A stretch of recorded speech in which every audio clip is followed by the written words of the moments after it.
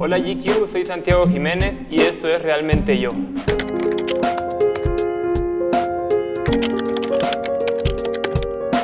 Vamos abriendo unas cuentas. Twitter.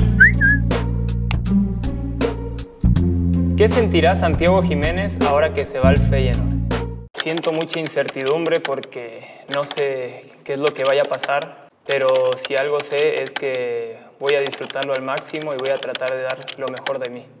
¿Cuánto mide Santiago Jiménez? También en Twitter. Mido 1,84.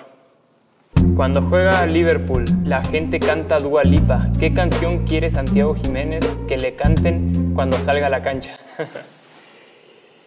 es una muy buena pregunta.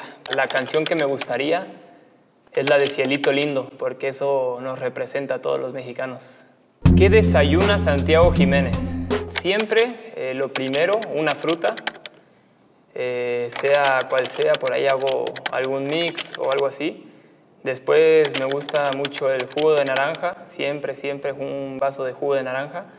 Y por último, unas tostadas con un poco de huevo. ¿Cómo fue la despedida de Santiago Jiménez con su equipo de Cruz Azul? Mi despedida fue muy triste porque yo desde niño estaba en Cruz Azul. El salir, la verdad, la verdad que me dio tristeza, pero también alegría porque sé que voy a seguir mis sueños.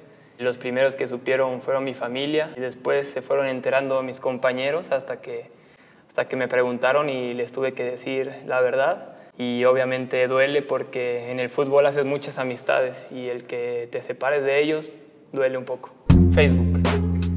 Me acabo de enterar que Cruz Azul es un pueblo y tiene la cancha del equipo también. Santiago vivió ahí con los demás. No, yo no viví en la ciudad de Hidalgo, que es de donde pertenece Cruz Azul, pero sí, obviamente lo he, visitado y conozco un poco de, la historia porque desde los 10 años que estoy en Cruz Azul y, y obviamente sé un poco de la historia y también he ido y me encanta el estadio, me encanta la ciudad porque todos son fanáticos de Cruz Azul. Otra en Facebook, esa está buena. ¿Qué hacían los papás de Santi Jiménez si se portaba mal? Mira, mi mamá siempre fue la que me consentía y mi papá sí ha sido muy estricto conmigo. Después de cada partido siempre tenía charlas con él y, me decía si jugaba bien, si jugaba mal. Casi siempre jugaba mal para él y eso me hacía también mejorar en muchos aspectos. ¿De qué operaron a Santiago Jiménez? Yo tengo cinco operaciones, dos de clavícula, Después me salió una trombosis y también me operaron de eso y en esa misma tuve tres operaciones. La verdad, gracias a Dios, ha salido todo bien y ahora estamos aquí. ¿Cuántos tatuajes tiene Santiago Jiménez? A ver, deja pienso. Cinco tatuajes, chiquitos pero bonitos. Esta está muy buena. Esta es la que la pregunta que todos se hacen en Instagram. ¿Por qué le llaman el bebote?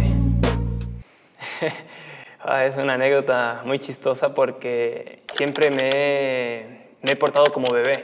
A pesar de que pasaban los años y empecé a crecer, yo seguía siendo un bebote, hace cuenta. Entonces por eso me decían bebote mi familia y después obviamente por amigos de mi papá y todo se, se hizo viral en todos lados. Eh, hay una anécdota muy chistosa que, que yo desde como hasta los 10 años tomaba mamila. Entonces imagínate cómo me hacían burla mis papás. Y una vez con un amigo también que lo invité a, a dormir a mi casa, al día siguiente me vio con, con, la mamila y yo le decía a mi papá, no, si yo no tomo de eso, no sé qué, porque mi papá me lo había hecho. Y de ahí apareció el bebote, una gran anécdota. Acá hay otra de Instagram. Santiago Jiménez quiere jugar en la selección argentina. Esta pues, no es una gran pregunta porque ahora estoy jugando en la selección mexicana. Así que pues no, en la selección mexicana. Acá en Instagram, miren, una foto con mi novia. Me preguntan cómo la conoció. Tengo una historia muy particular con mi novia. Es difícil de entender, pero la conocí por, por el Play, por Warzone. Nosotros jugábamos en línea en el Play. Yo ya la conocía en Instagram, pero no, no la había visto en persona y vi que ella jugaba.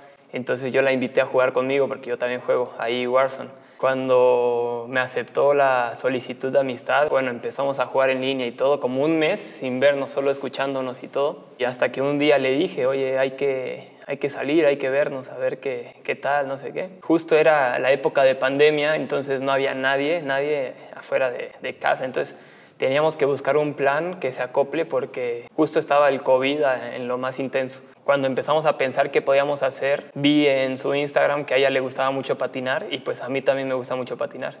Entonces ahí decidimos salir a patinar y, y ahí fue cuando nos conocimos.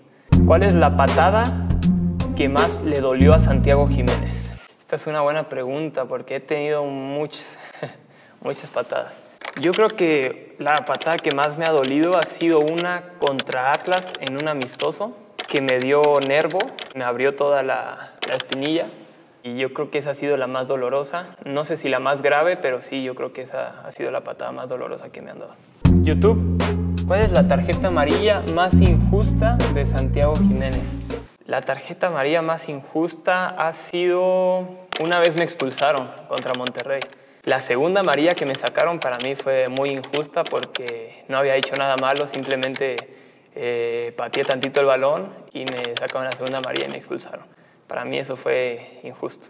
¿Cuál es el partido que Santiago quiso jugar completo y no pudo? El último, el último con Cruz Azul, fue mi último partido contra San Luis.